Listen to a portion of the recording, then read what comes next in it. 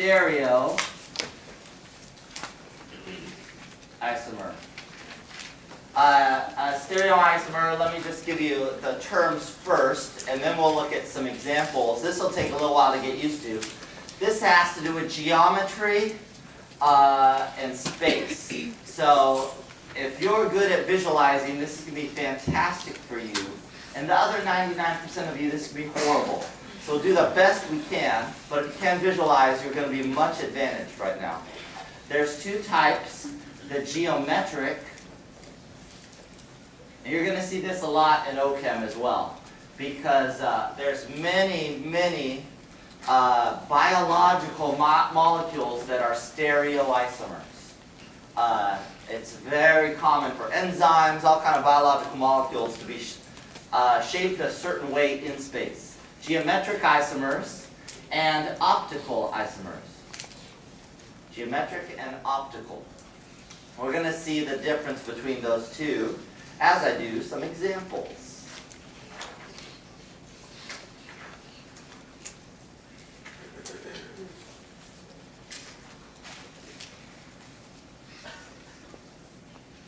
Okay, let's take a look at this. So I'm going to have a bunch of overheads here. If you want to just look, or you can write them down, whatever is helpful.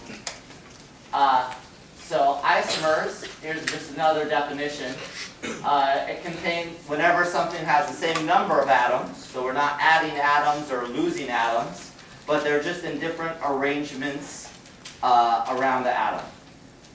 So now what we're going to look at is what's called some of these geometric isomers. So these first examples are the geometric isomers, which are a subset of stereoisomers. Okay, so geometric isomers, subset of stereoisomers. Uh, so here's an example. We have, let's try to name this. We've got two diamine dichloro. Uh, the amine has to go first. So diamine dichloro, platinum 2. What's its last name? It has no last name. It's like Madonna. Whenever there's no overall charge on the complex, then there's no last name. So this is a one-named entity. Well, notice how this can be named. This happens to be a square planar complex. You could have the two chloros both on one side of the square, and the two amines over here with the platinum in the center. Or you could have the chloros on opposite sides. So with the platinum here and the two amines here. The one uh, on the on your left hand side is called cis. Cis. The one on your right hand side is called trans. So trans, things like trans-America or something. Trans-world, going across.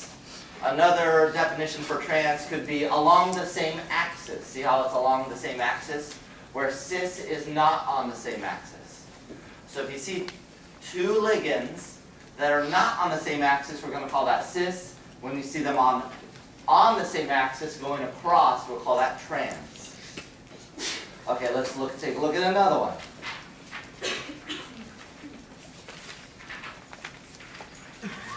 So again, geometric isomers.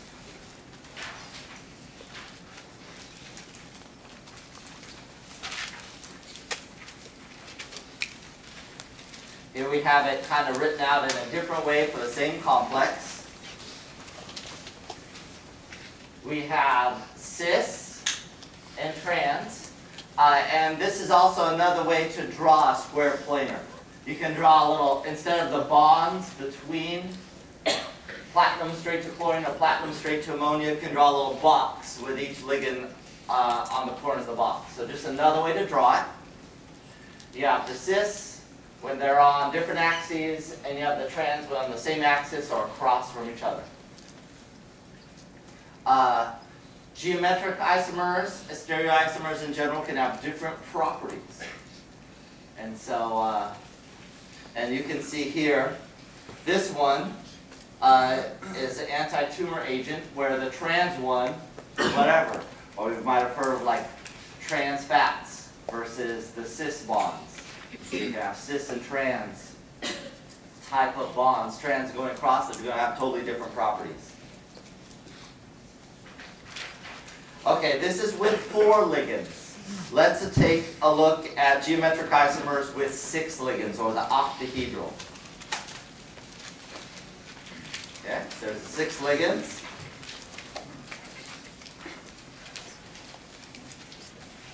Okay, so let's see, this is complex, there's three amines and three chlor chloros, so it's triamine, uh, trichloral, uh, cobaltate 2.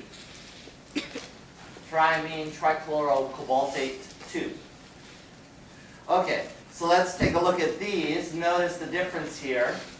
Again, we're using, when we're drawing the 6 here, in this case, the drawing a box for the middle, this would just be bonds from the cobalt to the chlorines and the amines.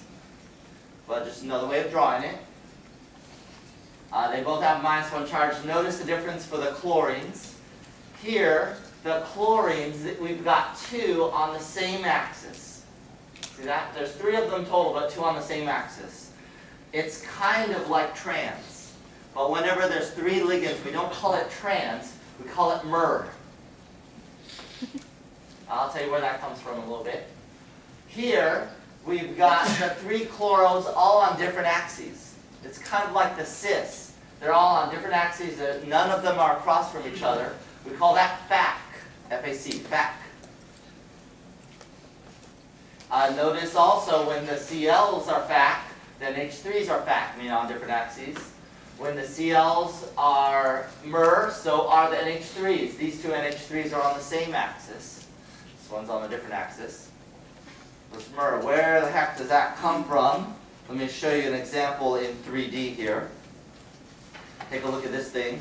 I don't know how easy it is to see. Let me dim the lights to set our mood. Okay. Uh, okay. Here, I have a little uh, 3D model that you can see, and you can see that three of them are black. Three are black ligands. One, two, three. The other three ligands are red, blue, and white. So the three black ones, can you see, are mer to each other? Mer. Uh, mer is like the word meridian. Like the prime meridian, it goes around, like the globe. And see how these go around?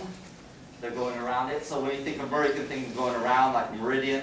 These two are trans to each other, so we use the term mer. They're across from each other, so we use the term mer for three ligands. Trans for two.